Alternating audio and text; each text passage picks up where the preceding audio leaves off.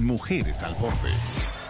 Hola mi gente querida, qué bueno reencontrarnos como cada sábado por la noche en este nuestro momento de entrenarnos juntos para la vida. Hoy tenemos un tema muy interesante que puede ser controversial, pero siempre es bueno escuchar y conversar y debatir. Y el tema de realmente la cirugía plástica contribuye a elevar la autoestima de la mujer. ¿Mito o realidad? Mm. Una mujer cuando se va a hacer una cirugía plástica debe ser evaluada por un psicólogo o un psiquiatra. a mí se me bajó la autoestima al piso. Los exageros el cuerpo no lo tolera, el cuerpo va a pasar factura. ¿Cuántas mujeres ya tienen un cuerpo que lo han comprado? De muchas de estas mujeres que se realizan cirugía ya venían con una depresión previa. La que piensa que va a sustituir con cirugía la actividad física y buena alimentación está equivocada. Aquí y ahora, en Mujeres al Borde.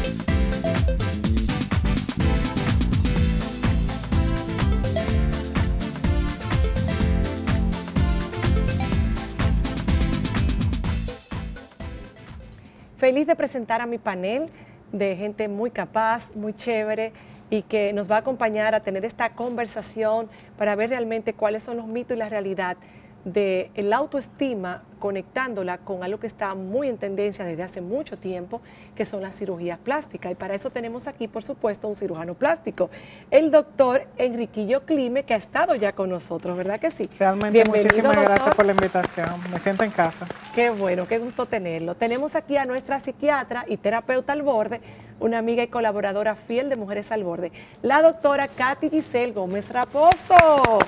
Mi rubia linda. Y ella parece una fashion blogger, pero la que sí es una fashion blogger que le tenemos aquí es a Gisney Lagrange, una dominicana que ha triunfado a través de su blog y de ser Instagrammer en las redes sociales, viviendo en Los Ángeles por casi cinco años y ahora está de vuelta por un tiempecito en su tierra. Un aplauso para Disney, una modelo hermosa Ay, que hace un blog divino de fashion y también de lifestyle. Estilo de vida, De estilo de vida, con tus hijas, con tu vida real. La vida de mi esposo, con todo lo que conlleva ser una madre que trabaja y hace todo y está presente en la vida de casa y de esposa. Mira, vamos a comenzar contigo.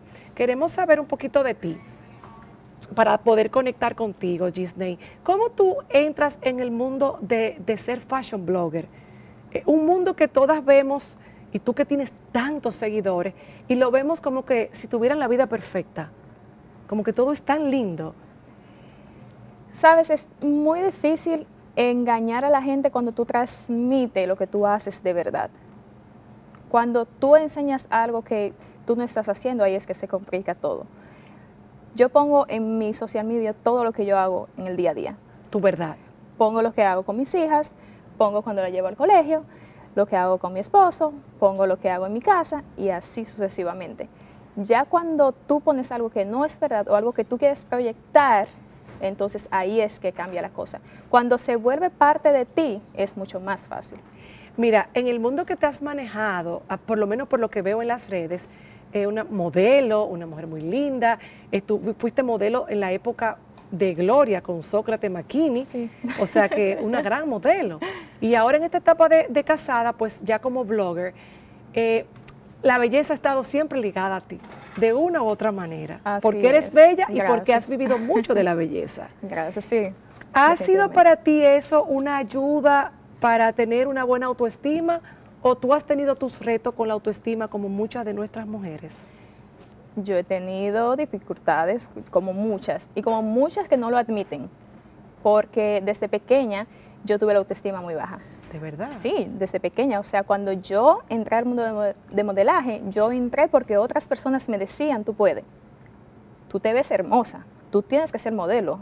Me decían, y yo todavía en ese tiempo, a la edad de 17 años, yo decía, yo, Tú no te lo creías. No, yo me veía todos los defectos del mundo. Yo decía, yo, de verdad. Y así empecé.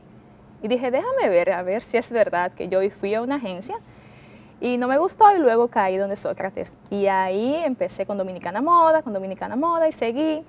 Y empecé a viajar y luego a hacer concursos de belleza, participé en el Miss Mundo, Wow. quedé segunda, tercera finalista, algo así, no se sabe por la confusión que hubo ese día. con Caroline Aquino y Adaimé. Ah, sí, un año Sí, hermoso. muy bonito, una experiencia muy chula. Empecé a viajar, concursos de belleza, fui a China, Venezuela, eh, Estados Unidos, distintos países. Y de verdad, eh, yo soy una persona muy humilde. Y yo siempre vi más que la belleza a las personas, al ser humano. Entonces, eso me ha funcionado bastante. Sin embargo, tú acabas de decir que tú tuviste en el mundo de los concursos de belleza, donde por lo que nosotros vemos y escuchamos, eh, hay mucha competencia eh, y realmente hay una tiradera entre las chicas, que es algo de lo que siempre me quejo, que tenemos que ser más unidas, y donde a veces por tema de autoestima suceden muchas cosas. ¿Qué tú viste ahí? ¿Qué lección te llevaste de eso? Suena cliché lo que voy a decir, sin embargo, eh, yo pienso que la autoestima debe ser, la competencia debe ser contigo misma, no con otra persona. Porque cuando tú empiezas a compararte con otra persona es porque tú no te sientes bien contigo misma. Y al yo tener una infancia difícil, yo aprendí a competir conmigo. Cuando me decían tú no puedes o me decían tal cosa, yo intentaba como sacar lo mejor de mí. Y yo pienso que en los concursos de belleza, por eso siempre mantuve amistad con muchas de las muchachas, la mayoría de las muchachas, porque yo no competía, yo las ayudaba.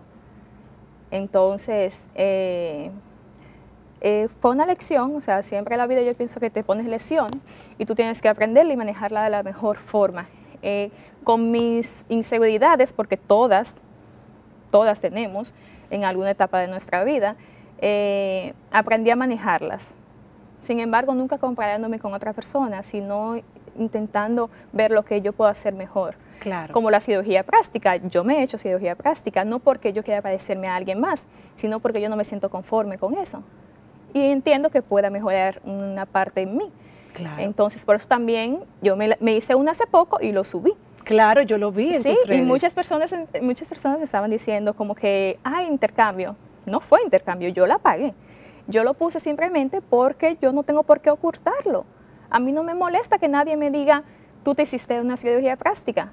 A mí no me molesta porque si yo me la hice porque yo entiendo que lo necesitaba y porque yo me siento conforme con eso. Es bueno saberlo. Tú decías que tuviste una infancia difícil, que te ayudó luego, te dio herramientas. ¿Por qué tuviste una infancia difícil, siendo una mujer tan linda? Eh, no, porque a veces uno ve, la- uno ve lo de Bueno, a veces eso, a veces ser bonito también eh, te complica un poco la situación. Pero sí, yo tuve una infancia muy difícil porque yo no tuve papá.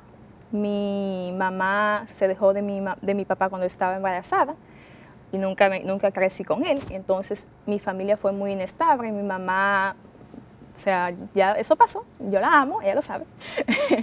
Sin embargo, mi mamá me dejaba mucho tiempo sola que eso es algo que a mí no me gusta, obviamente, hacer con mis hijas. Yo intento pasar todo el tiempo que pueda con mis hijas. Eh, ella me dejaba mucho tiempo sola, yo saltaba de una casa a otra, yo viví en casi 35 casas distintas, Wow. viví donde la tía, donde la abuela, donde la amiga de mi mamá, donde, y así sucesivamente. Entonces, eh, cambiaba de colegio, a veces perdía años de, de escuela, yo tenía que inscribirme sola en, la- en el colegio, tenía que buscar mi acta de nacimiento, tenía que darle un cuento al, al- al director porque no me aceptaban sin padres. Entonces, Wow. Muchas cosas así que te van enseñando que tú no tienes por qué quedarte en lo que no- la gente no está haciendo por ti, sino intentar avanzar y hacer las cosas por ti ¿Qué mismo tú- si tú puedes. ¿Qué tú piensas que te dio esa resiliencia? Porque eres una resiliente, o sea, ahora escuchando tu historia, y te lo pregunto porque este es un programa que busca empoderar a las mujeres, y lo que más nosotras nos ayuda es compartir nuestras historias, porque ellas ven cómo tú viviste y dónde tú estás hoy. Entonces, eso es decirle, tú sí puedes, porque yo pude.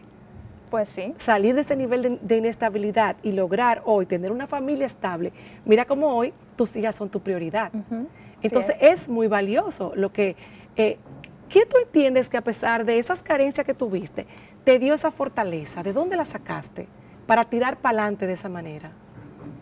Bueno, de pequeña no sé tanto, no, no, me acuerdo tanto porque lo hacía desde pequeña, sin embargo, quizás puede ser que mis amigas lo hacían.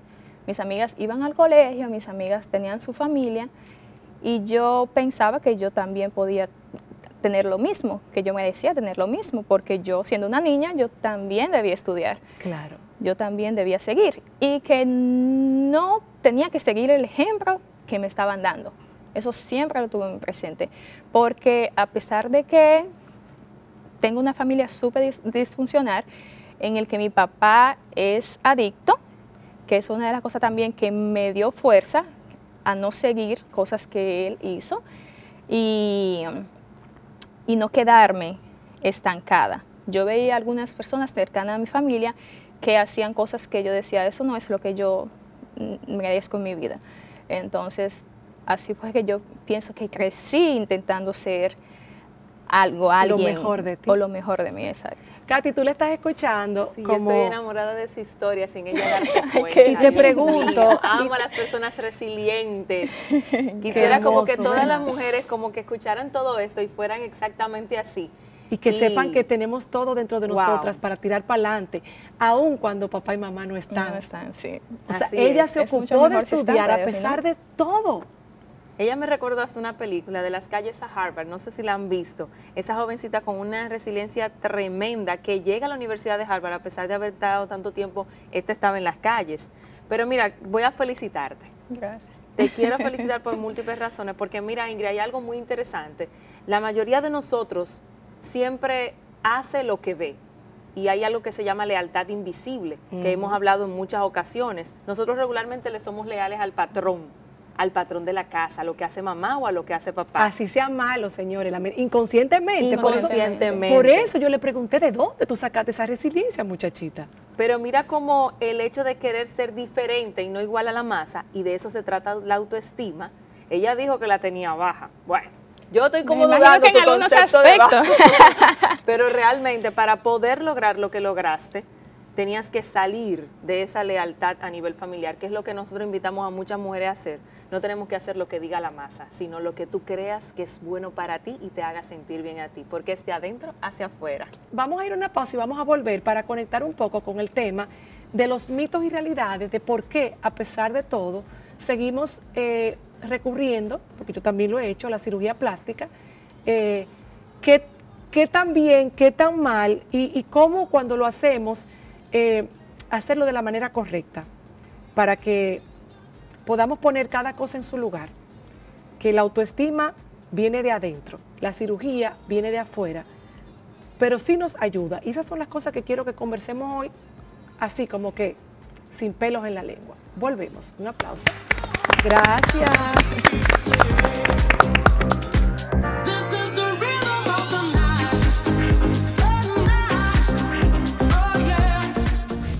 Mujer cuando se va a hacer una cirugía plástica debe ser evaluada de una u otra forma por un psicólogo o un psiquiatra.